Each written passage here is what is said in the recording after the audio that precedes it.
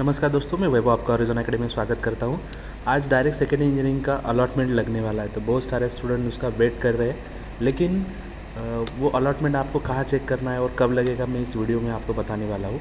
पहले तो बात यह है कि अगर आपको अलॉटमेंट चेक करना है तो आपको क्या करना पड़ेगा? D S C twenty one cab dot Maha C T dot O R G dot in इस वेबसाइट पर जाना पड़ेगा। फिर वहाँ पे आपका जो डी एस सी का क्रेडेंशियल है, वो डाल के आप आप पेज पे एंटर होने के बाद आप ये जो यहाँ का लेफ़्ट साइड का कॉलम है, वहाँ पे आपको कैब अलॉटमेंट का आपको ऑप्शन दिखेगा। वो ऑप्शन पे क्लिक करने के बाद आप, आपका जहाँ पे नंबर लगा है वो आप देख सकते हो।